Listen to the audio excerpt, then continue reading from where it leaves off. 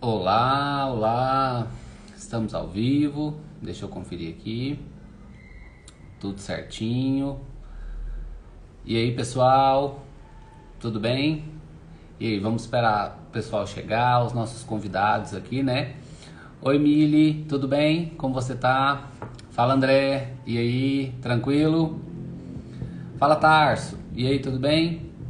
Então, Vamos esperar o, o, o, nosso convidado chegar, professor Paulo, que aí nós já vamos falar sobre o assunto, nós já vamos comentar sobre o que, que nós vamos falar hoje, né? Que é sobre bioma. E o nosso convidado hoje é muito especial e não tá tão pertinho assim do Brasil, né? Tá do outro lado do oceano, né?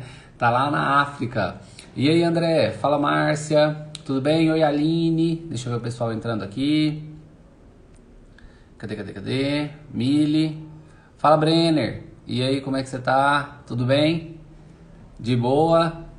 Pessoal, então, nessa live de hoje a gente vai tentar, e aí, por favor, quando vocês é, é, quiserem, né, podem fazer perguntas para o professor Paulo, que eu vou direcionando as perguntas aqui para ele, para a gente tirar a maior parte de dúvida e principalmente, eu tenho certeza, né, quem estiver participando aqui, de curiosidade sobre como é viver e trabalhar na África, né? Que assim, seja biólogo, seja não biólogo, seja o que for, eu tenho certeza que quase todo mundo morre de curiosidade de conhecer, principalmente a savana africana, né? E aí eu, principalmente, um dos meus grandes sonhos é fazer aí um, um passeio na, na, na, savana africana e hoje a gente vai ter a possibilidade de conversar com o Paulo. Ó, o Paulo entrou aqui, é, e principalmente, deixa eu ver aqui, peraí. Fala, Paulo. Deixa eu ver se tem como convidar. Ah, aqui apareceu aqui. Vou mandar o convite pro professor Paulo. Mandei.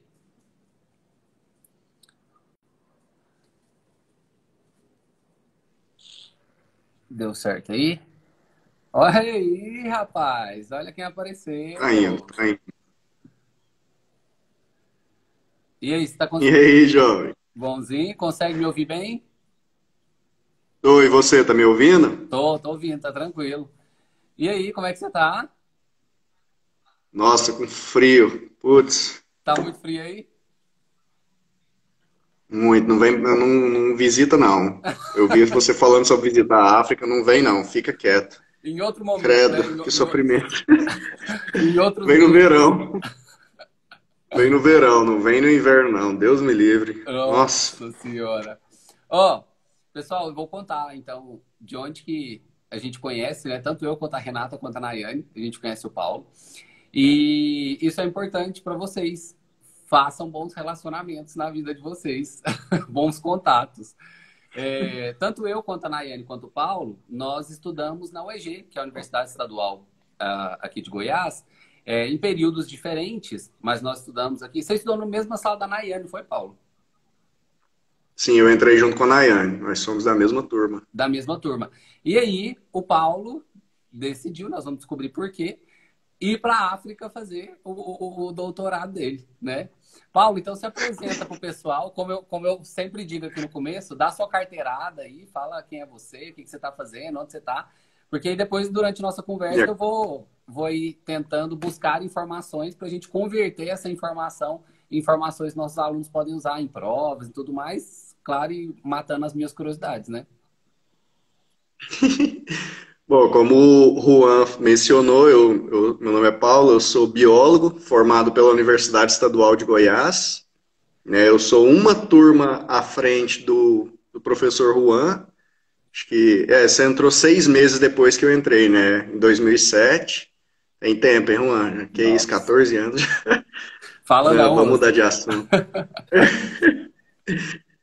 e Logo depois da faculdade eu fiz o mestrado em zoologia, logo depois fiz na Bahia.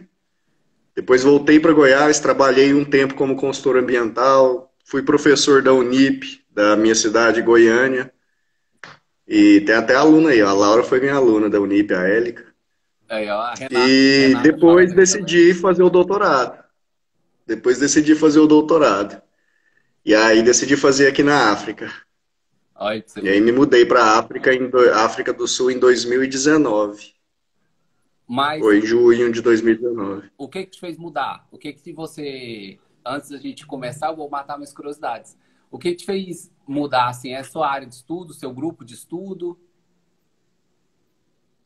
Ué, Juan, na verdade é o seguinte, até falaram aqui, ó. Acho que o sonho de todo biólogo é ir para a África, né? Tem esses lugares icônicos no mundo que a gente quer conhecer, né?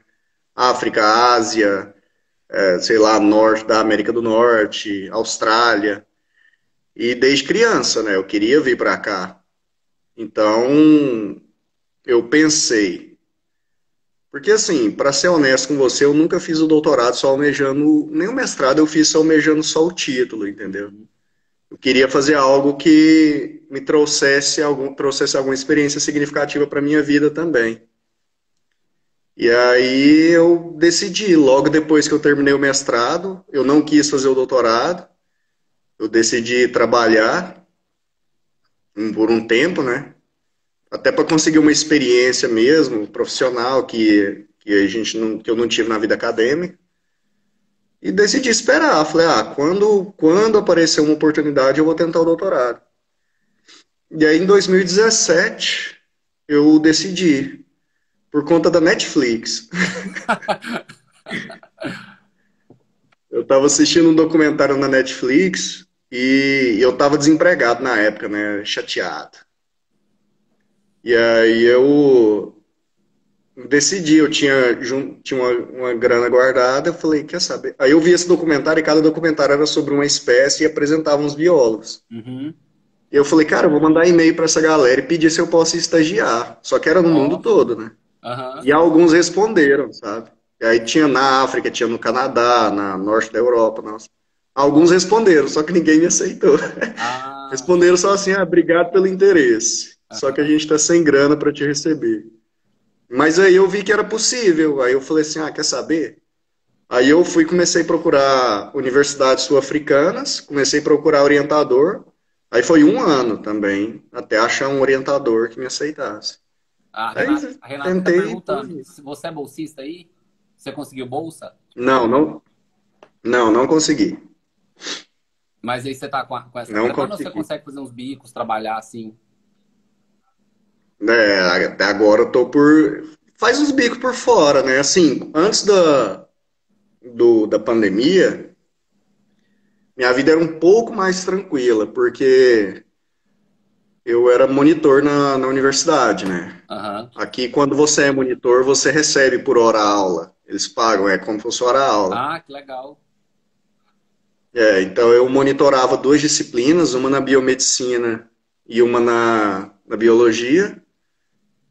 E aí eu tava vivendo até assim, não tava ganhando rios de dinheiro, mas tava vivendo razoavelmente bem. Monitor de aula prática, né? Depois a pandemia entrou, aí deu uma, aí deu uma cessada, porque eles reduziram bastante o número de monitores. E aí, vivo de. Tipo assim, eu faço trabalho, pro, de vez em quando aparece, eu faço muito trabalho pro Brasil, sabe? Entendi. Esses tempos mesmo eu tava fazendo uma disciplina EAD para uma empresa. Ah, entendi. Agora eu vou voltar às monitorias e por aí vai. É, o ruim é converter, né? Nossa, eu... Não, pior que, pior que aqui o real é mais forte que a moeda deles, né? Ah, é?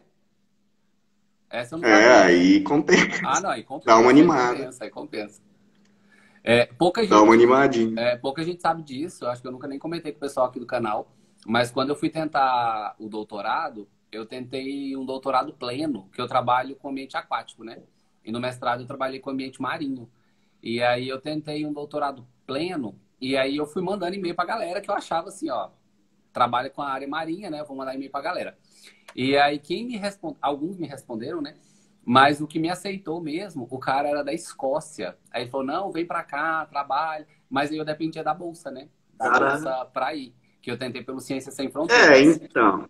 E aí eu na época que eu tentei, foi o único período, quer dizer, o primeiro, né? Depois tudo foi assim, em que o Ciência Sem Fronteira cobrava a nota de inglês antes de você ir para o doutorado. Porque antes era depois, né? Porque a ideia uhum. é você ir para aperfeiçoar também a outra língua, né? E aí eles começaram a cobrar Isso. antes. Eles começaram a cobrar antes, durante o processo seletivo. E aí eu tirei 6.2 numa prova com a 6.5. Quer dizer, que precisava a mínima, mínima 6.5. Aí acabou que eu não fui e aí eu fiquei por aqui fazendo, agora doutorado aqui, né? Fazendo, na UEG também, mas todo no final já também. É... Não, mas dá para fazer um sanduíche, um pós-doc depois. Ah, só sou Manter um contato. Agora. Eu já era para ter defendido, eu tô enrolando a defesa já tem uns quatro meses, tentando terminar a tese. Essa questão da bolsa é complicado, cara, porque assim, é... na verdade, quando eu tomei a decisão para vir para a África do Sul, foi uma aposta, né? Uhum. Eu apostei tudo que eu tinha. Falei, eu sabia, eu não tinha bolsa, eu sabia que não tinha bolsa garantida quando eu vi. Ó, oh, Nayane chegou. Quando eu decidi Nayane, vir. Ó, Paulo aí. Ó, Nayane. e aí, você sabe, né? No primeiro ano eu tentei a bolsa do CNPq, não deu. Uhum. Foi bem aquele ano, foi 2019, Sim. teve todo aquele corte de bolsa. Mas eu não culpo isso, não. Eu culpo a mim mesmo. E aí depois decidi não tentar no segundo ano e confiei na bolsa sul-africana e não deu.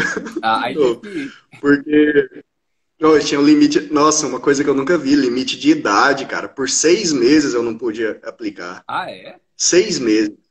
É, eles têm limite de idade, assim, para você tem que ter uma, até uma certa idade para aplicar para o mestrado, até uma certa para o doutorado, para conseguir bolsa. Ah, já... E aqui, como eles estão investindo no país, porque assim, o apartheid se, se a galera tá familiarizada, foi até 94, né? Então, muito recente. Sim. Então, já tem um tempo que eles estão investindo pesado no país. Então, assim, você vai concorrer à bolsa, tá lá, é, ancião, que é isso, Nayane? Já, vem, já chega agredindo assim, pô. Aí não, né? Vou sair da live. Vou sair daqui, vou embora. Aí ela já chega no. São. Eu ia falar, perdi o raciocínio. Nayane me desconcentrou com essa ofensa, dessa agressão gratuita. Eles estão investindo muito em educação aí. Ah, é? Me agrediu gratuitamente, eu fiquei ofendido. Pois é, e aí então assim, você vai concorrer à bolsa, é, tá lá de 100% das bolsas, 80, 90% vão ser para sul-africanos. Não importa, é o primeiro critério. E a maioria delas, por exemplo, no ano passado saíram quatro editais. Dois eu não podia nem tentar. Não, não abriram para estrangeiro. Oh. E aí os outros dois eram com todos esses critérios. E primeiro idade, depois é, 90% iam para sul-africanos. Dessas, no, dessas 90%, 85, 70% vai para estudante negro. Dentro disso, lá, mais da metade vai para mulheres, entendeu? Então eles vão eles estão tentando ainda se ajustar. É, o investimento Aí complicou. Tá, o investimento eles estão tão diversificando bastante, né? Priorizando os cidadãos daí, né? Priorizando os sul-africanos. Então, assim, é difícil para o estrangeiro conseguir bolsa aqui, sabe? Mas é acabou. Mais uma vantagem. É, eu tô, tô aqui ainda. Ninguém mandou embora ainda não. Mas sei lá, se algum momento acontecer. Ô, Paulo, e com qual grupo você trabalha? Você está trabalhando? Eu estou trabalhando com mamíferos, né? Eu trabalho com zebra. Com zebra? Ah, que massa.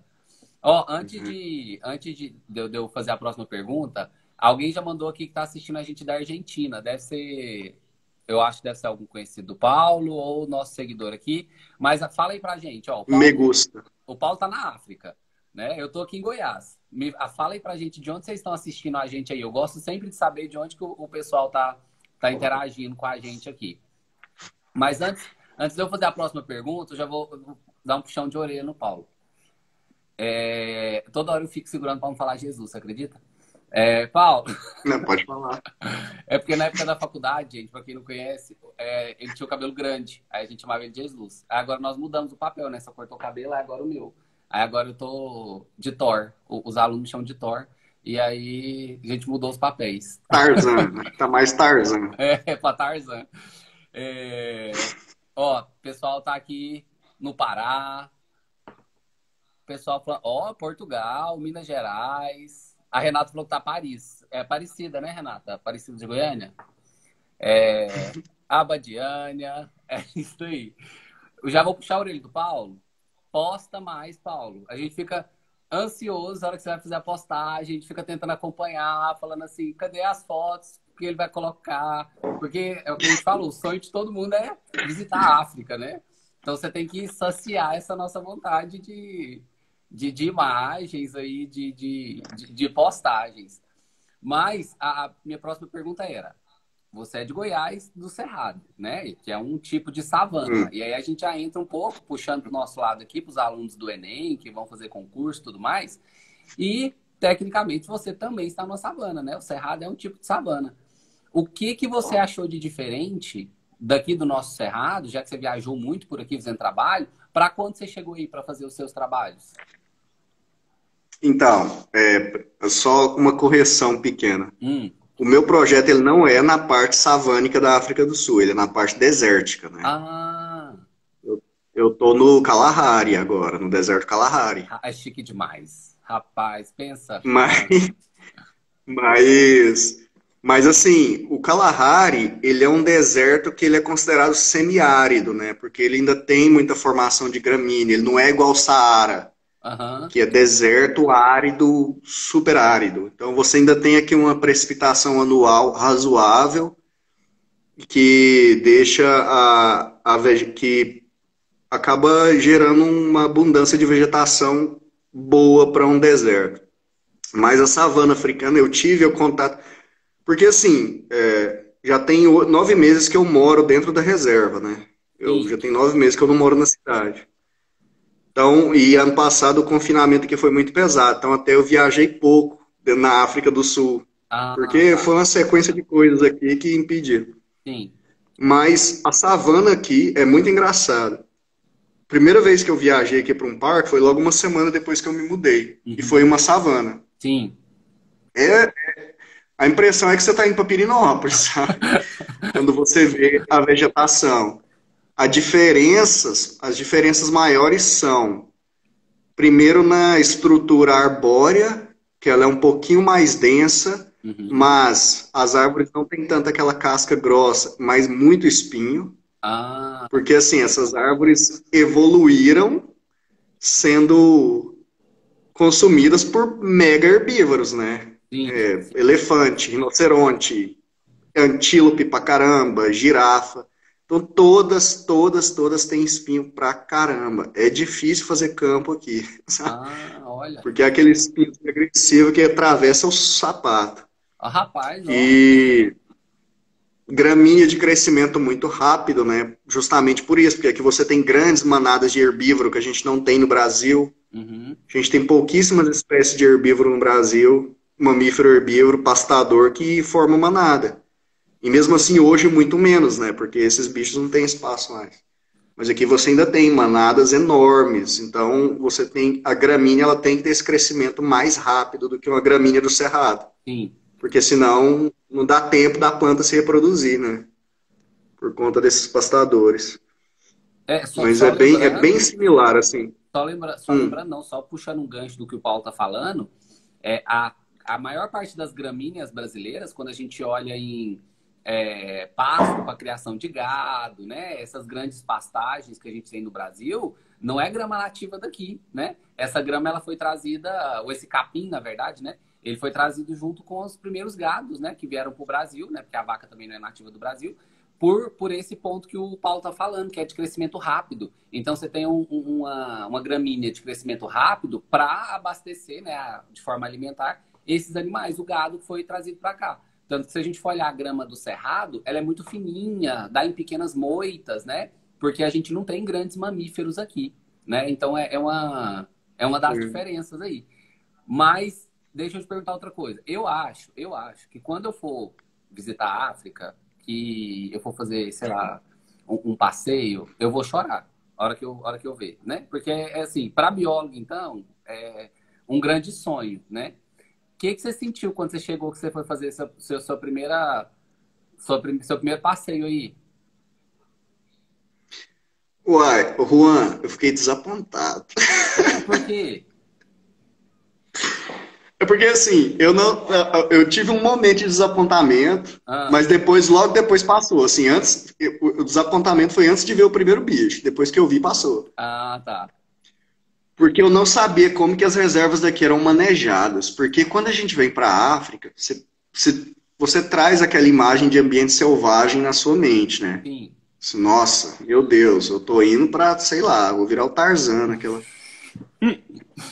E aí, no, quando eu cheguei na primeira. Eu cheguei no dia 3 de junho.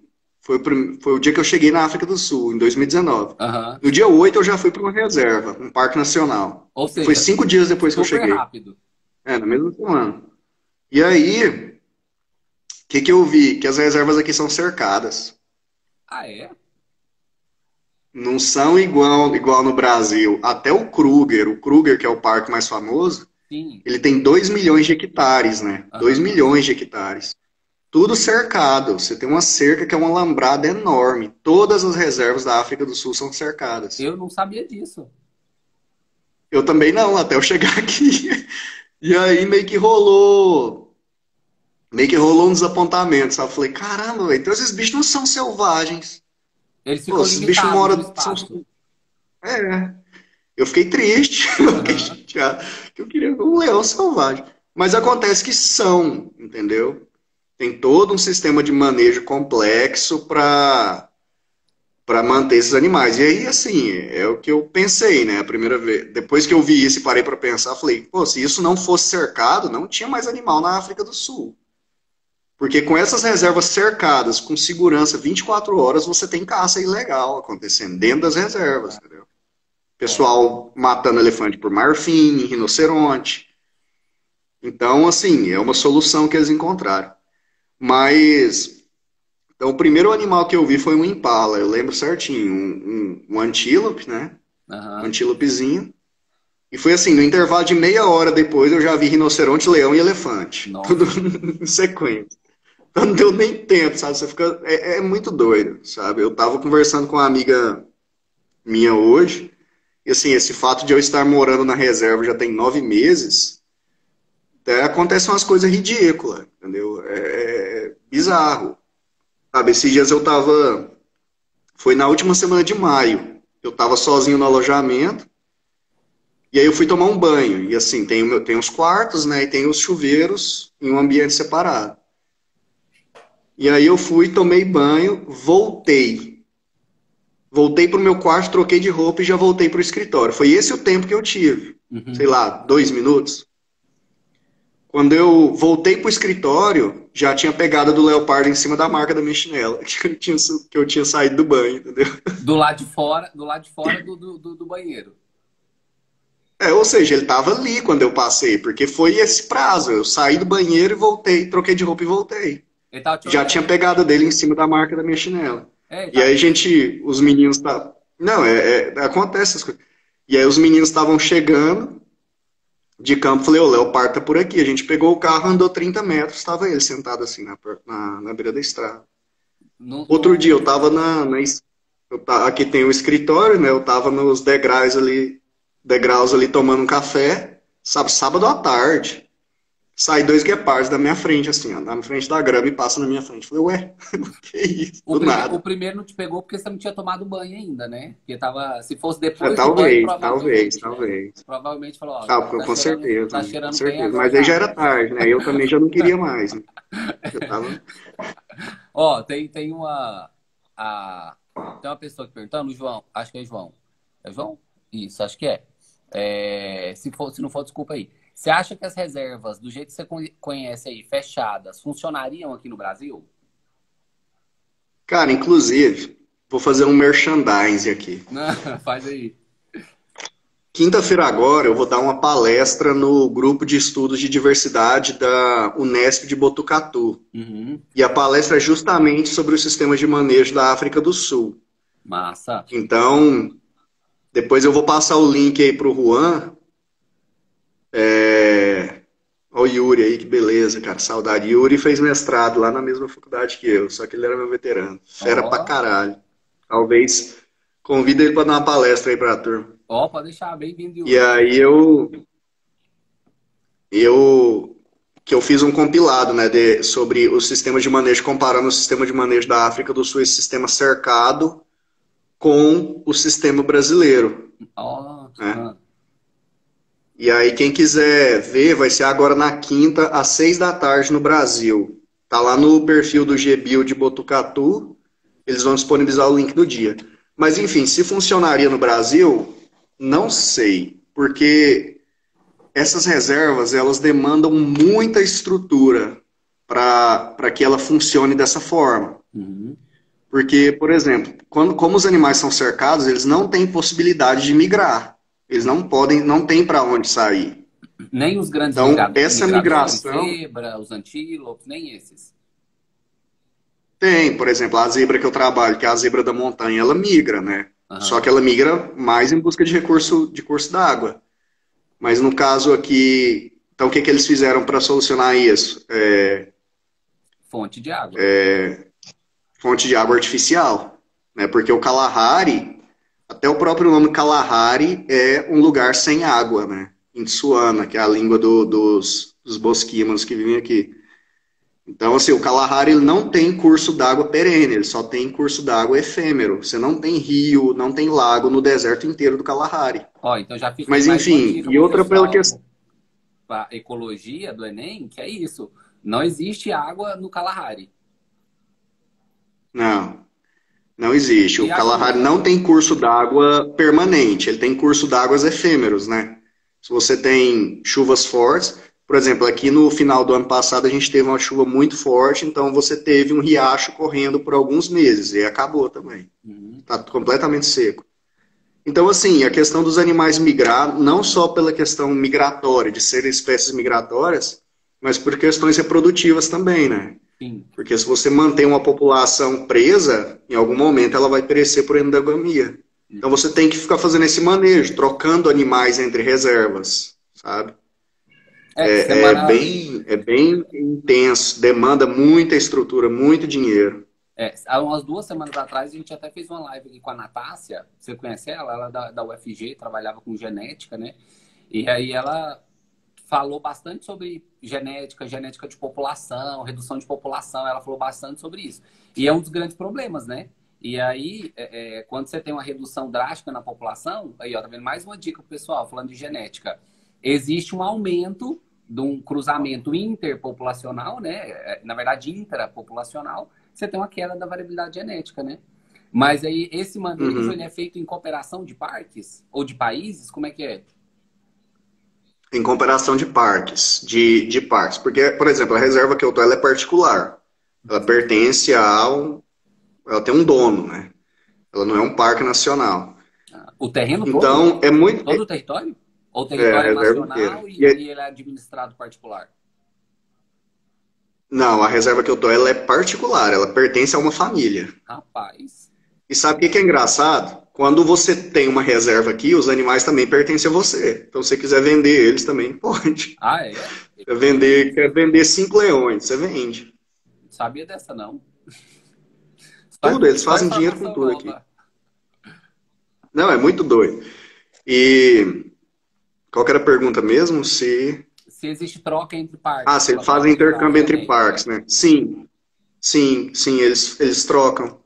Eles trocam, eles vendem. Eles têm até um aplicativo que os gestores da reserva eles têm acesso a um aplicativo onde eles fazem leilão de animais.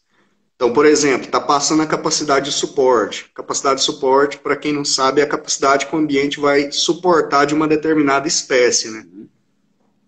Quando essa, ele, essas, algumas eles estão, eles fazem um monitoramento das espécies o tempo inteiro, o ano todo. Quando alguma espécie passa da capacidade de suporte, eles retiram aquela quantidade para voltar para um número aceitável. Para não sobrecarregar. E eles anunciam no aplicativo. É, para não sobrecarregar. E eles anunciam no aplicativo, tipo assim, ah, eu tenho um lote aqui de 10 zebras para leiloar. Alguém está interessado? e aí vai fazendo esses intercâmbios. Gente, é assim. Por exemplo, os leões. Ah. Leões. Aqui tem dois bandos de leões, né? E aí, só que o leão ele é mais fácil, porque basta trocar o macho, né? Não precisa trocar todos os leões. Porque quando vem um macho novo, ele mata os filhotes do macho antigo e é triste, mas é verdade. E, e aí ele vai acabar engravidando as leoas, e aí você tem a, a, o aumento da variabilidade genética, né? Então, o leão, eles acabam, eles só trocam machos entre reservas, entendeu? Por exemplo, esses que estão aqui, eles estão aqui, os, os, machos que estão aqui, eles estão aqui há dois anos. Então, acho que daqui, sei lá, vão ficar aqui mais um ou dois anos, eles vão e trocam com machos de outras reservas. E eles vão fazer isso. Ah, entendi. Então, eles não, eles não esperam, por exemplo, formar um outro pequeno grupo para introduzir, porque também o ambiente não suporta, né? Não suporta, é, não suporta. Então, se suportasse, é, talvez, talvez aconteceria, sabe? Uhum. Com alguns animais, por exemplo, agora eles introduziram a hiena pintada aqui na reserva. Então é um grupo bem pequeno ainda, só que elas já estão, elas já deram, elas já produziram uma ninhada aqui já de filhotinho. Uhum. E aí eles vão deixar elas agora. E aí o que, que eles estavam querendo fazer? Porque os leões eles ficam numa parte diferentes. A reserva é dividida em duas partes, uma com leão e outra sem. Eu moro na que não tem leão, né? Eu, ainda bem. Mas o que, que eles vão fazer? Eles estão querendo trazer os leões para essa parte de cá também. Só que agora eles introduziram a hiena e são competidores ferrenhos, né? Sim. Se tem hiena e leão no lugar, eles vão, no lugar eles vão brigar. Então eles estão esperando essa população de hienas se restabelecer, ficar grande, para depois trazer os leões. E aí eles vão poder trazer mais leões também. Entendi. Nossa. Porque tem mais espaço. É, ou seja, o, o, manejo ele é, não é um manejo tão simples, né? Essa.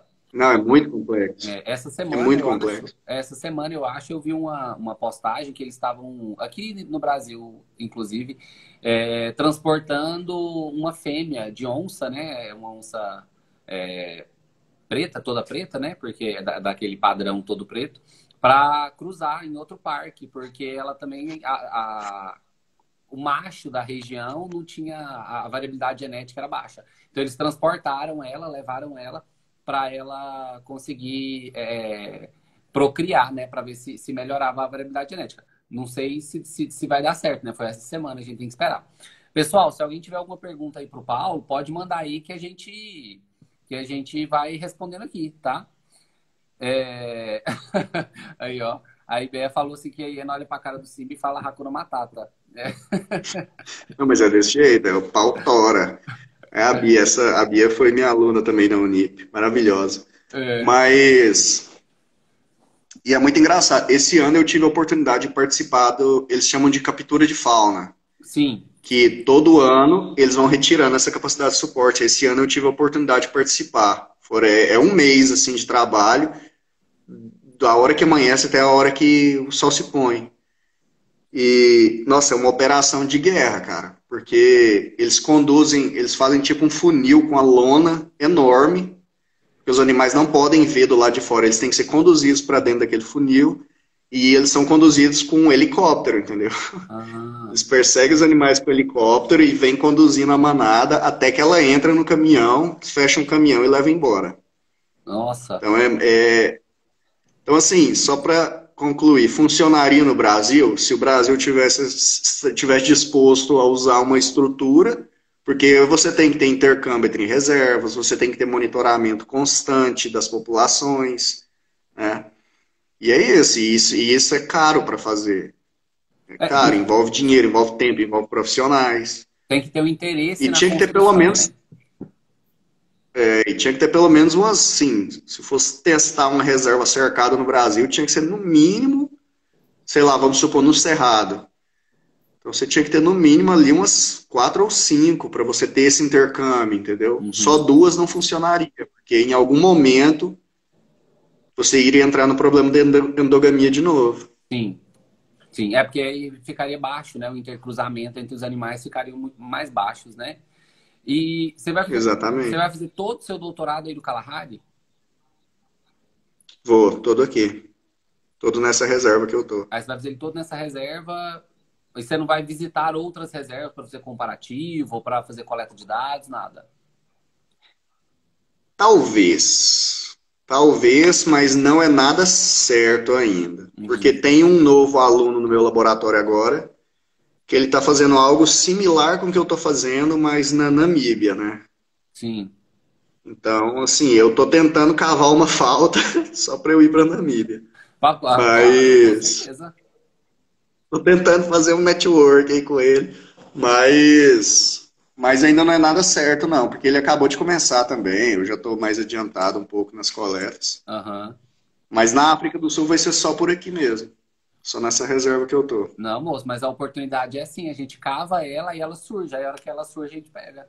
Ixi, é de vez em quando eu mando e-mail, falo, e aí, como é que tá? Tá tudo bem? Tá comendo direitinho, meu filho? não é aquele esquema de ficar sentado que a oportunidade aparece, não. Você tem que cavar a oportunidade e de repente ela brota e você pega ela. Exatamente. Exatamente, exatamente. Estão comentando aqui, ó, que no Brasil colocam fogo em tudo, reservas cercadas seria um desafio. É, concordo plenamente, né? Reservas fechadas aqui no Brasil seriam um grande desafio, principalmente porque nas que nós já temos, né? A, a- é, esqueci o nome agora.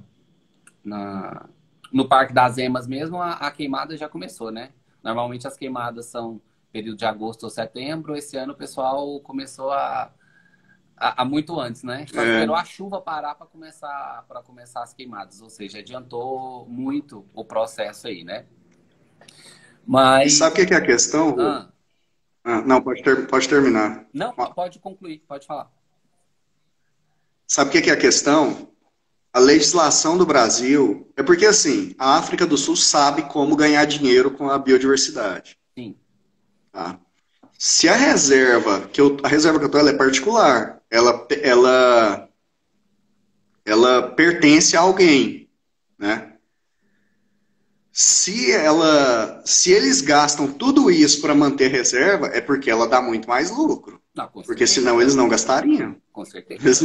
É um investimento bobo, né? Então assim, a reserva dá muito lucro para eles. Não, Eu acho que o Brasil ele tem uma legislação muito engessada no que se diz respeito ao tratamento da diversidade. Uhum. Eu tive, eu conheci analistas do IBAMA que eles até, às vezes a pessoa pergunta, ah, mas por que, que a pessoa não faz isso, não faz aquilo? Ele é analista da reserva, não é porque ele não quer, é porque não tem recurso, gente, não tem dinheiro, sabe? É. Não tem dinheiro. O cara lá, ele entra cheio de boa intenção. Ninguém entra para esses órgãos com preguiça. Quem entra, entra cheio de ideias, entra de boa intenção. Mas não tem dinheiro. E assim, das 12, são 12? 12 modalidades de unidade de conservação que a gente tem no Brasil, uma é particular, que é a RPPN. Uhum. Mesmo assim, mesmo ela sendo particular, ela tem toda uma série de restrições do que você pode fazer ou não. Então é complicado, sabe? Como assim, implementar isso no Brasil, você teria que mudar uma série de leis para fazer isso dar certo, sabe? E assim, aí, às vezes a gente fica pensando, porque tudo tem dois lados, sabe?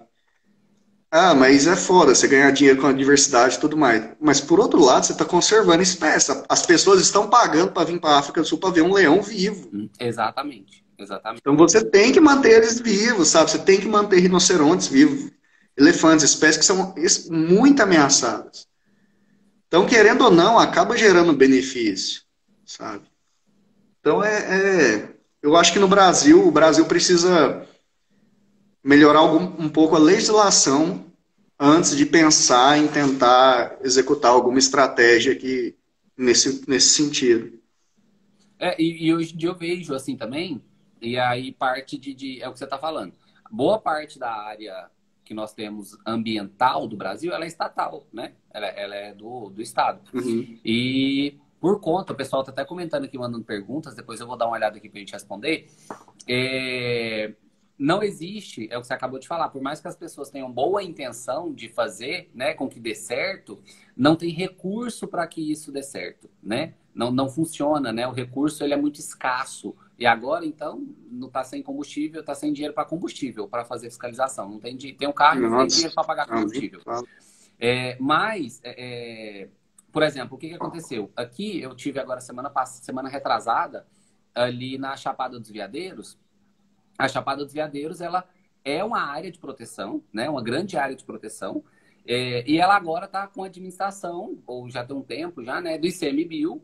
E eles estão utilizando essa verba para reverter em, em processo de tentativa de preservação e cuidado com aquilo ali não obrigatoriamente teriam que ser todas é, administradas pelo, pelo, pelo público, né? Assim, pelo, pelo bem público, né? Ou pelo governo federal, ou pelos órgãos federais. Poderia, por exemplo, você poderia dar uma área em que não poderia ser desmatado, teria que manter preservação, e quem fosse fazer esse processo de visitação, de manutenção, teria toda a responsabilidade, sei lá, por 10, 15, 20 anos, uma concessão, para que ele mantenha aquela área protegida, faça o turismo, né, seguindo regras de proteção. Ou seja, você, é uma terceirização do processo, mas é o que você falou. Você tem uma, uma pessoa olhando de cima, né? Você tem uma pessoa ali naquele momento olhando e mantendo aquilo ali, né? Por mais que eles lucrem aí na, na África aí, é, muito, está preservado, né? Então você tem é, é grandes, grandes locais preservados. É para o lucro de uma família, porque todo local é de uma família, né? É para o lucro dele, sim. Mas está valendo a pena? Pô, tá mantendo aí uma grande área preservada, né? É, tem, tem, tem, tem-se muita discussão aqui em torno disso, sabe? Porque, por exemplo, ah, ninguém entende português mesmo aqui, eu vou falar. A reserva que eu tô, ela ela vende uma ideia de conservacionismo muito rigorosa. Uhum. Mas assim, como eu estou aqui dentro, né, eu sei que muitas coisas que eles vendem ali no site não é necessariamente o que acontece. Sabe? Mas assim, tá longe de ser um absurdo. Tá uhum. longe de ser um negócio do tipo, ah, é, nós somos conservacionistas, mas chega aqui você pode encostar no bicho. Não, você não pode não pode nem chegar próximo, sabe? A gente, para quem faz pesquisa aqui, a gente tem um milhão de regras. É, por exemplo, eu eu trabalho com zebra, Sim. né? Eu não posso dirigir à noite aqui, durante a noite. Hum. Porque eu não tenho uma razão óbvia para procurar a zebra à noite. E eu tenho as áreas que eu posso ir. Por mais que eu estou numa reserva enorme, eu não posso andar ela toda porque eu quero, entendeu? Entendi. Porque tudo isso é para preser tentar preservar um pouco a essa ambiência dos animais, sabe? Eles não querem que os animais aqui se acostumem com a presença humana. O mais próximo. Porque são super arias. Né? É, acontece, acaba, alguns acabam acostumando. Por exemplo, os guepards. Todo turista vem aqui, ele quer ver um guepard. Acaba que todo dia você tem um carro chegando próximo deles, eles acabam não se incomodando. Uhum. Mas as zebras, por exemplo, elas não, não, não, permitem. O mais próximo que eu cheguei delas foi 200 metros. assim, o bicho é muito arisco. É, o, então, na verdade é um, ótimo, é um ótimo ponto, né? É ótimo. Sabe? Então você tem essas discussões, sabe? Ah, porque ai, aqui eles discutem muito isso. Mas aí quando eu começo a falar para eles, falo assim, pois é, mas assim, você tem que ver que isso aqui está gerando uma renda que está protegendo e essa, essa parte também. Não é assim, sabe? Então acho que o Brasil ele tem que muito amadurecer ainda, sabe? Assim, eu, essa questão, eu sou completamente a favor, por mais que eu sei que alguns colegas não gostem disso, uhum. mas eu sou completamente a favor de a gente fazer dinheiro com a nossa biodiversidade. E não é vender a biodiversidade, sabe? Não é vender, não é entregar para os Estados Unidos em nada, nada né? Não é teoria da conspiração. É você usar o que a gente tem. A gente está no país mais diverso do mundo, que é o Brasil, por área, é o país mais diverso do mundo. E a gente está perdendo uma fonte de renda ali valiosíssima, que a gente poderia estar tá usando e conservando, ganhando dinheiro, gerando renda. Entendeu? É, não, mas a gente tem aqui, acho que não só no Brasil, mas em, em muitos lugares do mundo, né? É, um, vários processos em que a população da região, população local, era super pobre. Quando aquilo ali se torna um local de visitação, um local onde as pessoas vão para, sei lá, nem que seja férias, descansar, ou ver os animais, né? Fazer esse, esse ciclo aí para ver os animais. E, inclusive, isso gera, renda, é, gera renda para o próprio cidadão local, né? É, para o próprio local. Então, assim, a discussão, ela é uma discussão totalmente plausível que tem que ser feita, né? Ela tem que, ela tem que avançar, na verdade, né? Deixa eu ver algumas perguntas. Tem que avançar. É, deixa eu ver algumas perguntas aqui que o pessoal mandou aqui é, para a gente responder. É, funciona melhor? Ah, reserva, tá bom, tá bom. É difícil alguém investir com os cortes de educação? É, concordo. Tá, tá, nós estamos complicados aqui, viu? É, vocês acreditam que a ciência e pesquisa hoje em dia está sendo manipulada pelos investimentos privados? É o Henrique que mandou, acho que é o Henrique da, da Argentina. É, falou que está na Argentina. Ó, mudando um pouco, né? A gente tá falando de, de área de preservação, mas é, com certeza. né? A gente tem no, no, no, Brasil agora os cortes na educação. É, é, eu sou de universidade pública, o Paulo também, né? Renata, Nayane. E a gente está vendo cortes aí, não só na educação, mas trazendo para a área da, da, da, biodiversidade, cortes gigantescos, né? Que é o que a gente acabou de comentar, não tem dinheiro para combustível, né? É, então, assim, a gente está passando por um momento muito difícil, né?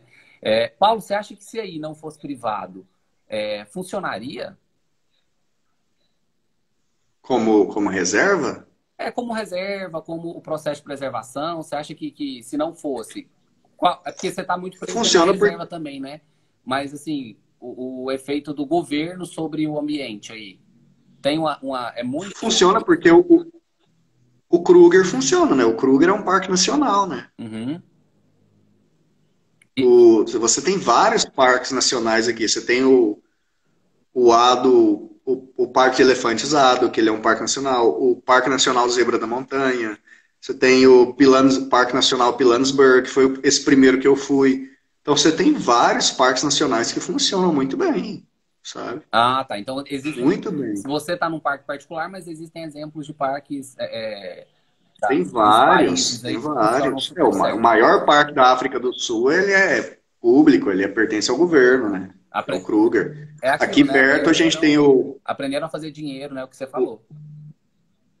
É, aqui perto a gente tem o parque, ele chama, chama Kalahari, né? O Parque Nacional Kalahari, que é 200 quilômetros daqui, ele é transfronteira, que ele pertence à África do Sul e à Botsuana. Maravilhoso, sabe? Mas assim, é lógico. É porque cada reserva, o Juan, ela tem, ela vai ter suas direcionamentos, entendeu? Ela tem os seus objetivos. Então, por exemplo, a reserva que eu tô, ela tem, ela é classificada como uma reserva de luxo, digamos assim. Não para hum. mim, né? Ah, que para mim não, não. Meu, quart... Tá meu quartinho é um depósito abandonado.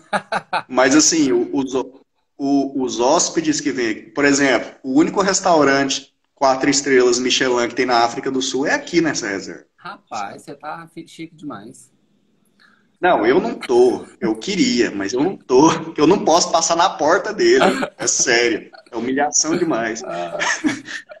mas então você tem objetivos, sabe? Você, então, por exemplo, nos parques nacionais, como o objetivo deles é estimular o turismo no país, a entrada é muito mais barata, consequentemente a estrutura vai ser um pouquinho mais simples, uhum. porque é uma é uma é um custo-benefício, né? Aqui como é muito mais caro, então você vai ter uma estrutura de alojamento muito melhor, mas também não é qualquer um que paga, né? Sim. Então assim, e os parques nacionais eles visam é o turismo, mas o turismo e de forma geral. Então você tem uma estrutura boa, mas ela é um pouquinho mais simples.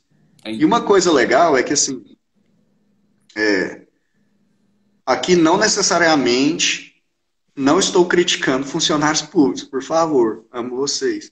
Mas não necessariamente você precisa ser um funcionário público para trabalhar em um parque nacional, entendeu? Ah, sim. Você pode ser contratado, então você tem uma rotatividade maior, você tem mais oportunidade de emprego, sim, do que do que você ficar esperando um concurso por anos.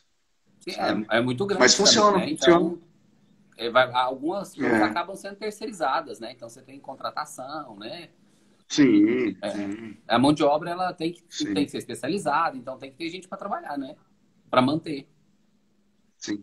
E tem que funcionar, né, Juan? Porque é uma das principais fontes de renda do país.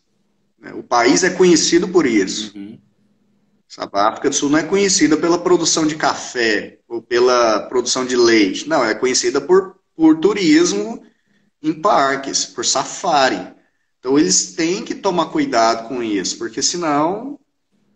É, tanto que é o sonho. Mas fica sem falei no começo da live, né? Tanto que é o sonho de não só todo biólogo, mas muita gente conhecer e fazer os passeios aí, né? A, a, pois é. A Elica até comentou aqui, ó. Aqui na minha cidade tem uma reserva não sei se já ouviram falar, a Serra dos Martírios, Andorinhas. O lugar tem mais de 40 cachoeiras e cavernas, pintura rupestre de mais de 2 mil anos. E eles querem fazer uma hidrelétrica. Élica, vou te dar um exemplo que é daqui da minha região, que é o Lago de Serra da Mesa. o Lago de Serra da Mesa, eu trabalhei lá alguns anos para fazer a minha, a minha monografia. Eu trabalhei com peixe, né, com tucunaré. É, e ele é o lago com maior volume de água do planeta quando ele está cheio, né? Em volume né, de água, em quantidade de água. Porque é um ambiente de muita serra, muita serra, né? Serra da Mesa. É, e foram submersas mais de 30 cachoeiras e locais é, é, de reservas indígenas históricas, né? Então existiam ali os historiadores, geógrafos estudavam essas regiões, achavam muito resquício de populações que viviam naquele local ali e foi feita uma hidrelétrica ali naquela região, é, que é, enfim, né? A utilização dela é muito aquém do que do que era o proposto, mas foi feito. Né? Então, provavelmente é isso que o Paulo está falando. É, é, a ideia de usar aquilo ali como outra fonte, talvez seria muito maior, né? Que é o que eles fazem aí. Mas, Paulo, mudando um pouquinho de assunto aqui. É, como que você se sente sendo brasileiro, né? Tendo visto isso todo, toda sua vida, estando trabalhando com a zebra, que é um dos, dos grandes mamíferos, assim, que são... que o pessoal é apaixonado. Cara, ah, me sinto humilhado às vezes, sabe? Por quê? É foda. Você vem pra África, você faz um esforço e a galera pergunta, mas por que não, leão? Ai, velho. Mas não, não dá pra agradar, cara. Mas tem, Eu tô brincando. Tem tanto grupo, é, tem um monte Não, cara, é assim, leão, é muito. É muito, é muito doido, sabe, o Juan? Porque é, meu trabalho é um dos melhores aqui, o meu campo. Eu até falo para os meninos, né? O meu é um dos melhores, porque eu sou o único que pode andar pela reserva, né? É, os outros meninos, porque como eu disse no começo, aqui a gente tem várias regras para nós mesmo. Então, assim, os meninos, eles têm. Se você tem uma área que você trabalha, seu animal ocorre em uma área, o, sua pesquisa vai ser restrita àquela área. Você não pode sair dirigindo por aí por diversão. Não pode ficar rodando. A gente não tem essa escolha. Não, não pode. Só que como o meu bicho anda pra caramba, a zebra é um cavalo, do tamanho de um cavalo, então a área de vida deles é grande. Uhum. E, e, ainda mais é a zebra da montanha, né? Que ela fica na montanha. Qual que é a diferença da, então, da, da zebra da montanha para. São espécies diferentes? Eu não sei, realmente. Cara, é, existem três espécies de zebra, né? Uhum. Três reconhecidas, que é a zebra de greve, que é uma zebra que ela é restrita ali o norte do Quênia e o sul da Etiópia. Uhum. E aí, por toda a África, o sudoeste, sudeste, sud, sudeste da África, você tem as zebras da planície, que é aquela zebra comum que a gente vê lá no, na Discovery Channel. Ah, tá. Zebra padrão, zebra, zebrinha raiz. E aqui nas áreas desérticas da Namíbia e pedacinho do sul de Angola e norte da África do Sul, você tem a zebra da montanha, que ela é uma zebra de área desértica, né? Uhum. Então você tem algumas diferenças fenotípicas, tipo assim, a zebra da montanha, ela tem mais listras, ela tem uma papadinha, ela tem a barriga branca, né? Ao contrário da, da zebra da normal, a zebra da planície tem a barriga listrada, tem menos listras, listras maiores. Uhum. Tem algumas diferenças. E é um animal de área desértica e que habita montanha. Então ele desce da montanha só para beber água. Não é um animal que fica andando em planície. Entendi. Para mim não faz sentido nenhum um cavalo ficar subindo morro, mas. ah, é, é, a área dela, pô. É a área dela. Ela tá ali. Ela tá ali dominando não a área. faz dela. sentido nenhum. Então, assim, eu tenho essa liberdade, porque como o bicho que eu trabalho, ele anda muito, então eu tenho que andar muito. E eu tenho liberdade para andar a pé atrás deles, né? E aí é muito. Nossa, é surreal, cara, porque assim, não, parece que você. Você vai a pé? Eu vou. Sozinho não, com alguém. É, não, sozinho mesmo. Ninguém ah, quer ir comigo. Bom. Tô falando, ninguém gosta de zebra, não. Maia. Não, mas eu espero, eu espero, não, ver, eu espero não ver no jornal é, pesquisador brasileiro é comido por guepardo é, é, na África do Sul. Nossa, guepardo eu já encontrei eles mais de uma vez a pé. Assim, Meu Deus de três metros. Falei, porra, que isso? Dá, dá um sustinho no começo, depois a gente acostuma. Tem uma, amiga, e... tem uma amiga minha que trabalha com, com sapos, inclusive ela está na Suíça agora fazendo o pós-doc dela. E ela já deu de cara, assim, na, na, na Amazônia umas três vezes com onça. Assim, de levantar, porque trabalha, no, trabalha à noite, né? Levanta a cabeça, assim, com a luzinha de testa, a hora que coloca, a onça tá lá, assim, agachadinha, olhando para ela. Já, já umas três vezes que ela me contou aconteceu isso. Cara, pior que dos gatos, eu não tenho medo dos felinos. Porque, assim, o felino, se ele quiser te matar, ele não vai se mostrar. Ele não vai falar assim, oi, claro. tudo bem? Vim te comer. Não, ele vai você não vai ver. Uhum. A Beatriz perguntando como é que eu controlo para não correr. Uai. Eu fiquei com tem força, pô. Beatriz. É um apavoro, como é que corre? Mas eu tenho, eu tenho medo aqui, medo genuíno, assim, ó, de coração de búfalo e rinoceronte negro. Aí eu, aí eu, eu tenho uma, uma batedeira, sabe? É, como a área, como a e búfalo já aconteceu. Hipopótamo, né? Porque a maior taxa de morte não, não é tem. hipopótamo, não. daí não tem. Não, ainda bem, né? Deus me livre, estou fora. E Búfalo já aconteceu algumas vezes de eu encontrar com eles a pé, entendeu? Nossa Senhora. Haja, haja coração. Ô, Dá Paulo, medo. O que, que você está fazendo da vida que você não fica atualizando a gente postando. Eu vou cobrar de novo. Fica atualizando a é, gente. preguiça, né? Não, velho. Preguiça. Leva o celular, filma. eu sou... Leva o celular, filma. Um monte de preguiça já. Ensina pra gente, mostra. Eu tenho muita preguiça de rede social, mas muito, mas não é assim, mas é muita. Mas não é pouca, sabe? Desfaz de postar. Eu tenho vergonha. Toda vez que eu posto, depois eu já tô com vergonha. Eu posto, eu já tô com vergonha. Não, velho. É, é cê, cê... muita matutice. Nossa, muita matutice. Você tem que entender que a gente fica assim, você fica contando, eu fico assim, velho, podia ter filmado pra mostrar, a gente ia ficar ali ó, o tempo todo olhando, esperando atualizar. Pior que algumas coisas, por exemplo, esse do Guepardo aí, porque no dia que eu vi os Guepardos pela última vez a pé, eu tirei selfie com eles, fiz um escambau. Ah, e olha aí o bichinho. Irresponsabilidade. Não, eu vi uma foto né? que você tirou com ele com a cabecinha dele assim. É flor, não é? São flores, assim, não é? É, é, é capim, Nossa, a coisa mais capim. linda aquela foto. Não, e agora, agora, agora eu tô na caçada, porque tem uma fêmea que ela acabou de dar a luz próximo aqui do centro de pesquisa. E ela tá com quatro filhotinhos. E o filhotinho do guepardo é lindo, com aquele moicanina. Né? Esses dias eu vi dois, só que eu não consegui fotografar.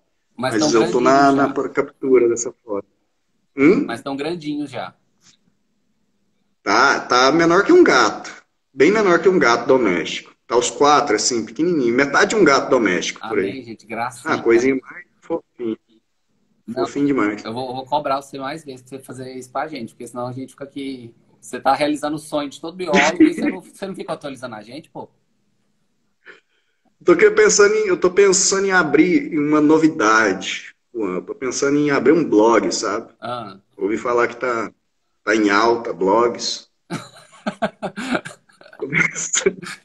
tô pensando em abrir para escrever qualquer coisa. Você vai postar vídeo, foto, tô... você vai postar pra gente dá no Instagram. escrever, né, cara? Faz no Instagram. É foda, você escreve no Instagram, ninguém lê, pô. Faz no Instagram. A galera não quer ler.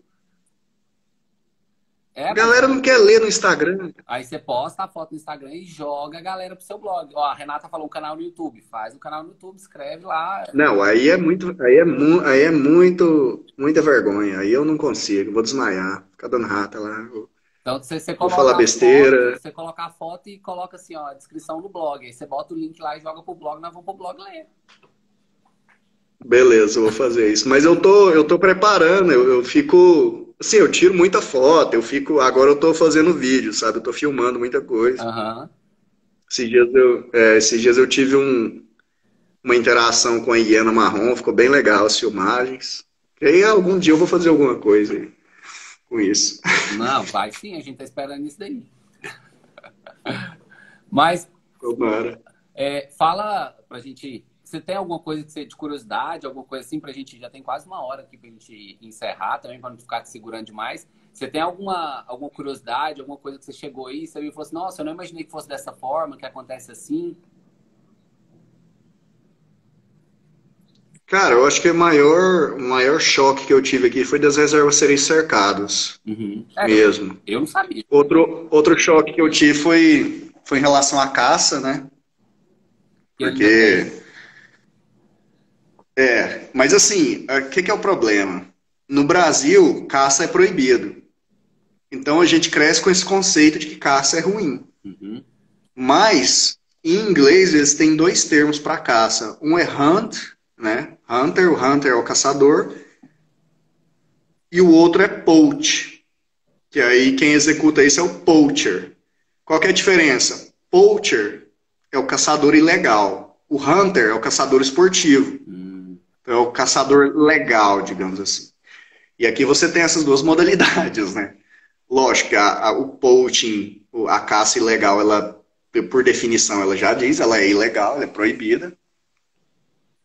Mas, é, por incrível que pareça, essa caça legalizada, em alguns casos, ela tem salvado as espécies que são caçadas, sabe? Então, por exemplo, é, populações de rinoceronte negro, elas cresceram a partir do momento que eles legalizaram e regulamentaram a caça do rinoceronte negro, sabe? Então, essa foi um. Para você ver, são manejos que não fazem sentido se você for pensar na essência, né? Como que caçar o rinoceronte vai salvar o rinoceronte? Mas tem funcionado, sabe? É, então, essa, toda essa, essa parte de manejo da África do Sul, eu acho ela muito interessante, cara. É, é toda uma indústria, toda uma indústria criada para isso, uhum. É criada, não é questão assim, ah, que eles estão adaptando coisas. Eles inventaram toda uma indústria baseada nisso. Então é muito é muito é, é muito interessante. Pensado como que o país gira em torno disso. populações, né? Por mais que seja, eu acho muito triste falar em caça, mas por mais que seja ah, pensando na caça, né, eles mantêm as populações, né? E as populações crescendo, né? E ganham dinheiro com isso, né? Não, e é porque assim, eu tenho mentalidade brasileira ainda, né, Juan? Então para mim caça é ruim. Caça é ruim. Para mim, é, é difícil entrar na minha cabeça que a caça ajuda em alguma coisa. Mas outra coisa interessante. Aqui tem muita fazenda de antílope, né? Por exemplo, você é fazendeiro e você está criando impalas na sua fazenda. Você pode. E aí a galera, muita galera que consome carne, que come carne, né? Eles preferem ir numa fazenda dessa e aí você pode caçar o seu antílope lá dentro da fazenda, hum. né? do que comprar carne de gado.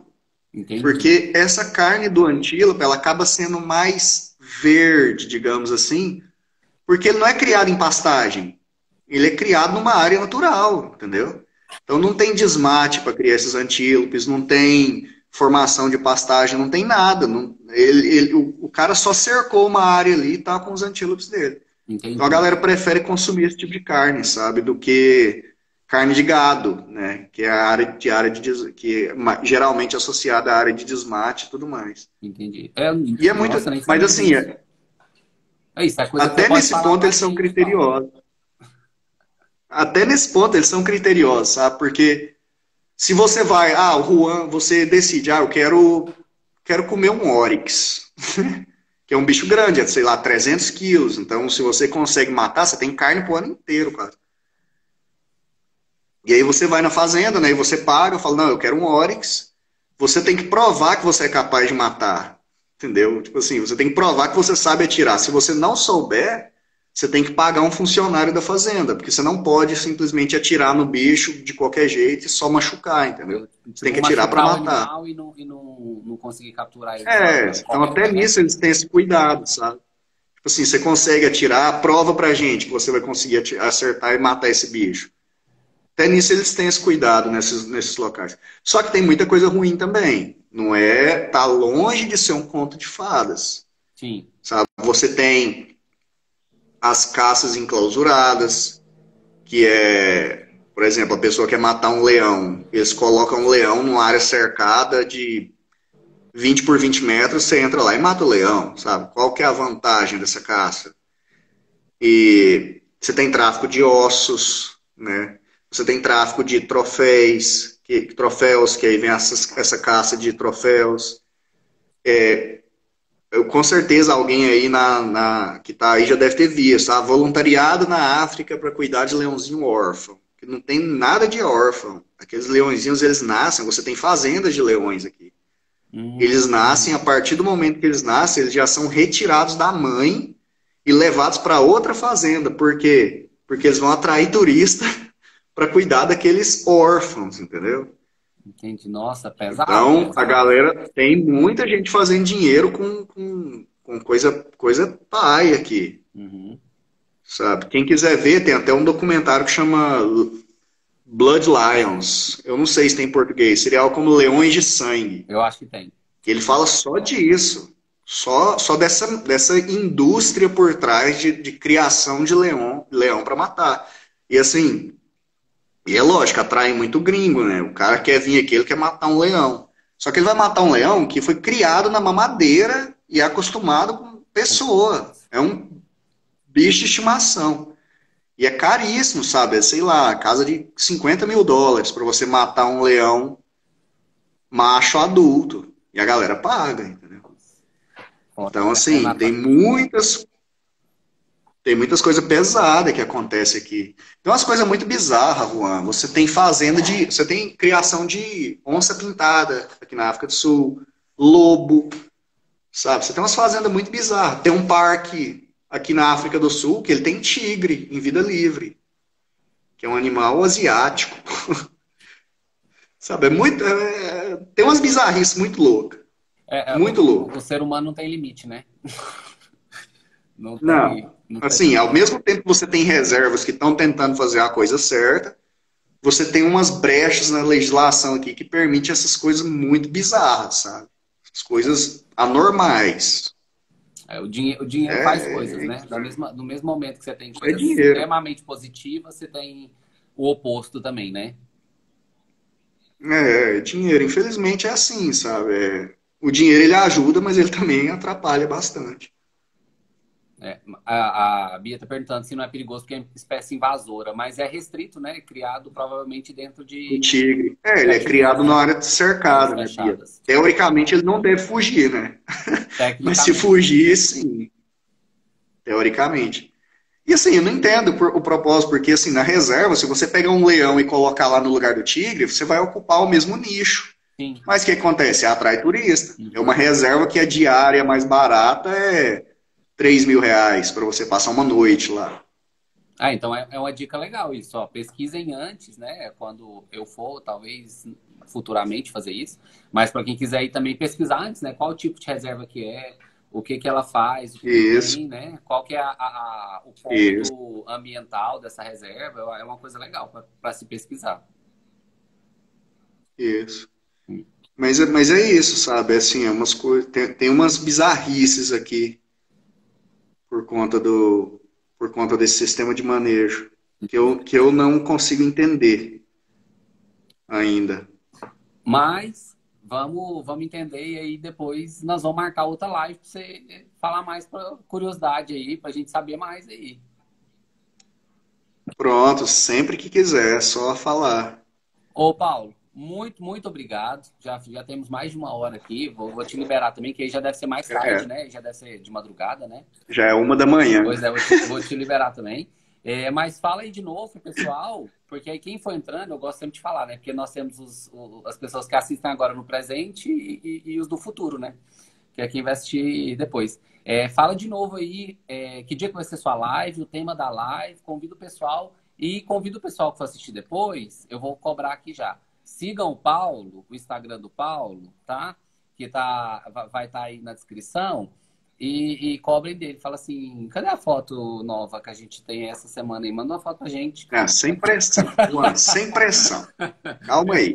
30 anos que você não me vê, já vem com pressão. Eu, eu vou ser o primeiro, vou puxar a fila. Falar assim, tem foto essa semana?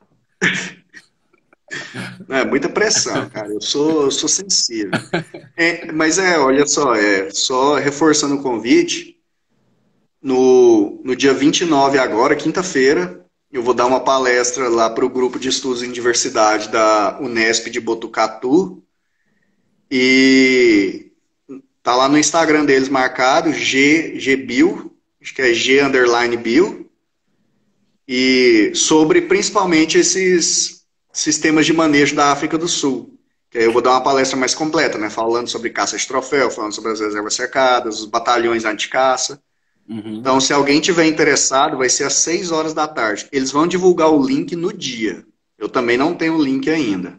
Tá, ah, quando você tiver o link. Mas vai ser às seis da tarde da quinta dia 21. Para o pessoal aqui, para os meninos, para ver também. Beleza, com certeza. E vai ser aberto, vai ser no YouTube, então vai ser aberto para todo mundo. Só não acho que não vai ter certificado, galera, mas ó, vamos, vamos desapegar um pouco dessa moda aí, certificado. Não, mas é pra, tá bom, já tem muito. É para aprender, é para ver, para aprender. Eu vou assistir. É, então vamos lá, se alguém tiver interessado. Manda o link para é, gente. Vai ser agora. Quinta-feira. Vou, postar, vou postar o link aqui pro pessoal fazer, fazer o velho. Beleza, o, sempre que precisar, tamo aí. Cima, o pessoal pessoal é. Ah, é? Essa... Que chique, bicho. Seu Instagram faz isso? Você viu? Faz. Menino, quando, eu, quando a gente criou o Biologia em Foco, eu e a Renata, fofoca de, de, de Instagram. Eu fiquei, tipo assim, vários dias, hum. eu e a Renata, gente, onde que a gente acha o link arrasta pra cima? Pra ir pro povo ir pro nosso canal do YouTube, pra assistir as aulas, né? E aí a gente não achava essa função. Aí um dia a Renata achou e me mandou, falou assim, Juan, dá uma olhada nisso aqui, ó. Aí tem que passar de 10 mil pra eles liberarem o arrasta pra cima. Que isso, que arrogância. Tá, não é? Podia ser todo mundo, né? Pra botar a raça pra cima, aí tem que passar pra, pra, pra eles liberarem a raça pra cima.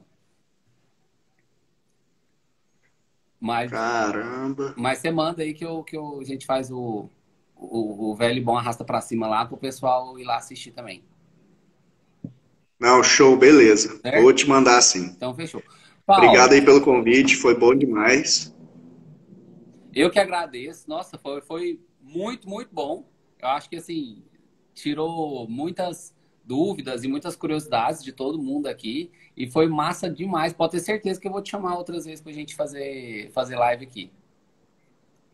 Não, beleza, só avisar. Então tá. Só então. avisar que eu tô pronto. Então fechou. Pessoal, muito obrigado. Obrigado pela presença de vocês. E sigam também lá, ribeiro.paulo, né? Arroba ribeiro.paulo.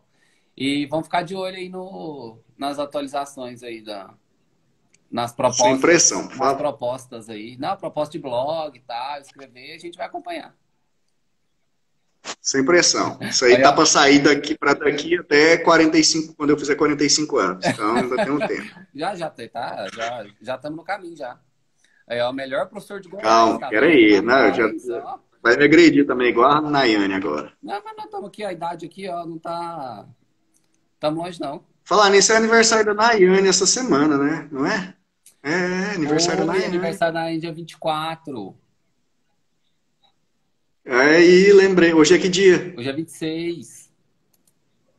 Pô, parabéns, Nayane. Nem sei se a Nayane ainda tá aqui, deve ter saído. Nayane é uma, é uma agressiva. Mas lembrei, lembrei agora. Não, eu, eu repasso os parabéns para ela. Então, valeu, obrigadão aí. Valeu, bom descanso. Até a próxima. Um abraço. Valeu, pessoal. Valeu, obrigado para todo mundo aí pela presença de todos. Até mais. Tchau, tchau.